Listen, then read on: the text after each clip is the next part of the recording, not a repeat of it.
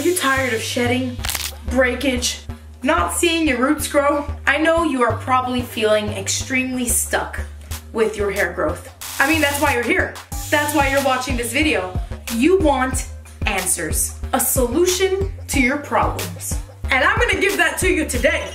Because whether you are someone that maybe you feel like my hair is growing, I can see the length, but I'm not seeing the length, if you know what I mean.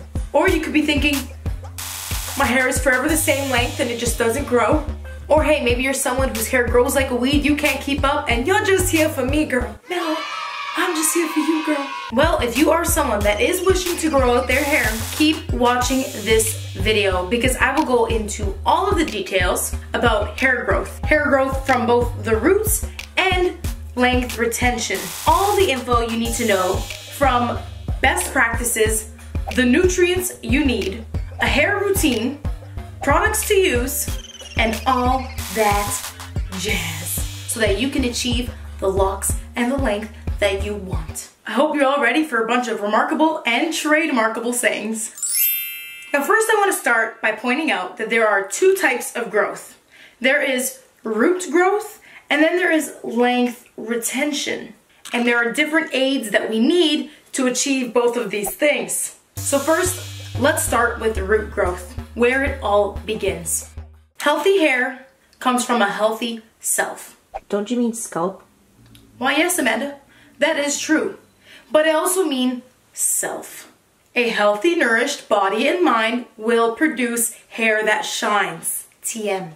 Our hair growth, along with other cellular functions of the body, perform best when we are our healthiest, and our hormones heavily affect that. So if your hormones are currently out of whack, well then your hair growth cycles may be compromised. So making sure that our bodies, our bodies are getting the essential vitamins and nutrients that we need will promote healthy hair growth. Here are some of the five vitamins and three nutrients that you need to promote growth. You can get these lovely nutrients by taking supplements, or better yet, by eating food. Next, let's get into the nitty gritty about scalp care. Healthy hair begins with a healthy scalp. The most important thing here is having a dedicated scalp routine. Because let me ask you this. Do you have a skincare routine for your face? Well, then you should also have a scalp care routine for your scalp because scalp is skin. So I want to talk about the best practices for a healthy scalp. There's about three things, three essential things that you need. One, nourishment. Nourishment and treatment. Two, stimulation. And three, clarification in any order. So allow me to go into detail about these three points. There are steps and products involved, so if you need to take notes, take notes. First, we're gonna start off with treatment and nourishment. Now, the dangers of having dry scalp is dry hair and possibly breakage from the root. So whether your scalp is oily, dry, built up, or you have scalp conditions like psoriasis, dandruff, or eczema, taking action to treat these conditions will only benefit your hair growth. From personal experience, and I know most people with curly hair have a dry scalp. So for my dry, itchy, and kind of flaky scalp, once a week before I wash my hair and before I cleanse it again and then worry about over drying my hair, I condition and treat and nourish my hair with this. This is from the Innate Life. This is a scalp treatment for normal scalp. So I've been using this one for a while and it nourishes my scalp with every single thing it needs. Like ingredients, we've got coconut oil, castor oil, shea butter, olive oil, all these different things, vitamin E, literally every nutrient, everything that's nourishing that your scalp would need. I massage it right into my scalp. I leave it on for hours and then when I wash it, I usually have to wash it twice because otherwise it's like almost greasy up there. But it really helps to moisturize the follicles and your skin. And I have literally felt the difference where my roots are much softer than they used to be. My hair used to get a lot more wiry at the top and my scalp does not get flaky anymore. And it is key for anyone experiencing hair loss because it's got the castor oil, it's got jojoba oils, it's got everything you need. P.S. I have a video on dandruff versus dry scalp, so if you're not sure which one you have, then you need to check out that video.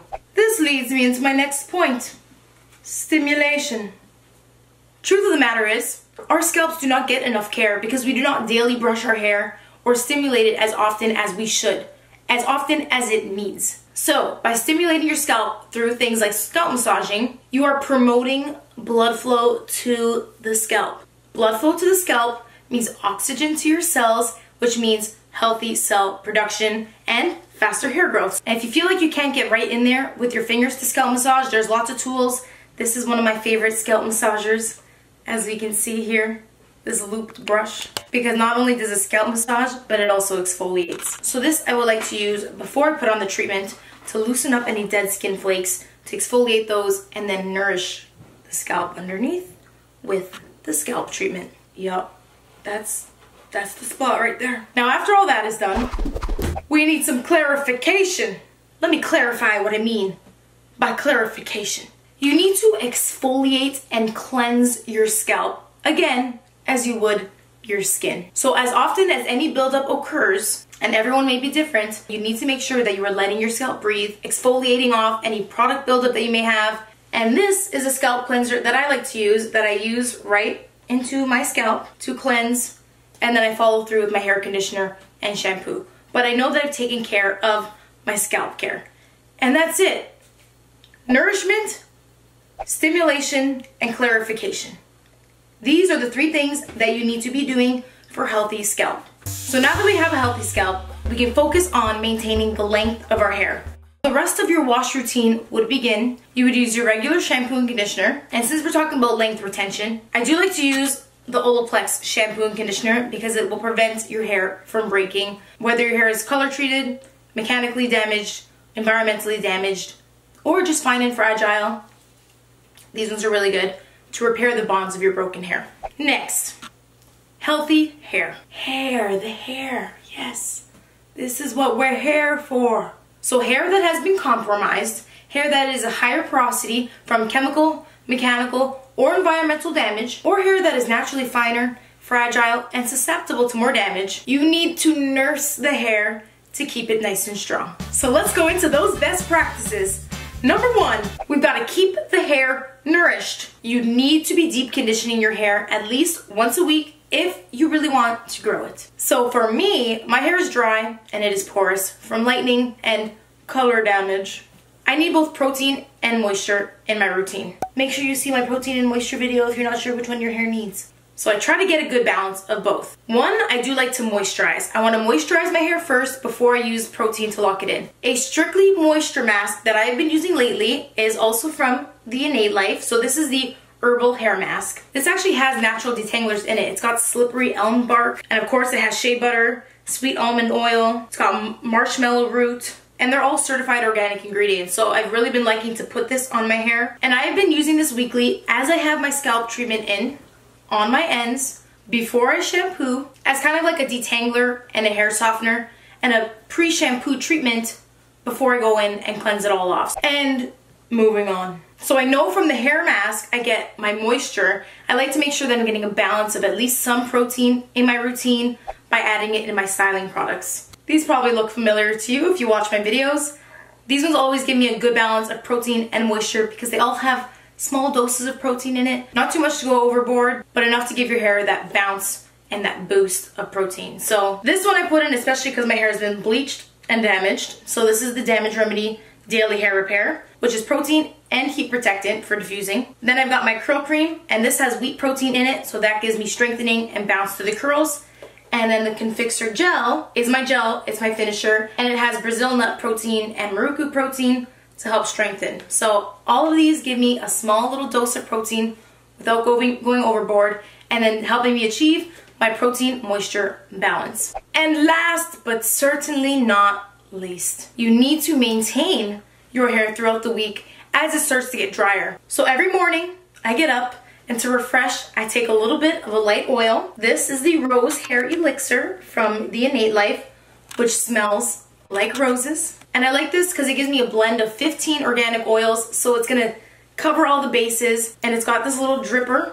So I take two drops, mix it in my hands, and I just use it to smooth and tame frizz and flyaways, and just to rehydrate my hair throughout the week. Because hair that is hydrated has good elasticity, and good elastic hair does not snap off. And then one last point that I didn't want to point out because I know no one wants to hear this, but you need to trim your ends. Trimming your ends will guaranteed help you retain the length. Remember, it's better to have healthy hair than long hair, and healthy hair will grow long. So keep it healthy. And that's it. I'm done. I'm done. No, last, no, I got it all. Having said all that, allow me to close off this video with our comments of the week. Comments of the week is from Shannon. Thank you for saying the words that everybody's thinking. And our question of the week is from Amanda, not my sister Amanda, who is asking how I lighten hair without bleach, which is how I lighten my sister Amanda's hair. I use what's called high lift color because I am a hair professional and I know what I'm doing. And you know, one day in a future video, I'll show you guys exactly how I do that on Amanda's hair. You'll just have to stay tuned. So make sure that you are subscribed to this YouTube channel, turn on the little bell for notifications because every single Tuesday we put out new videos. And until next time, this is Manes by Mell,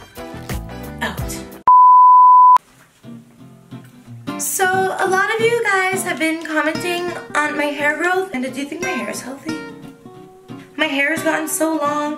How come my hair just doesn't grow?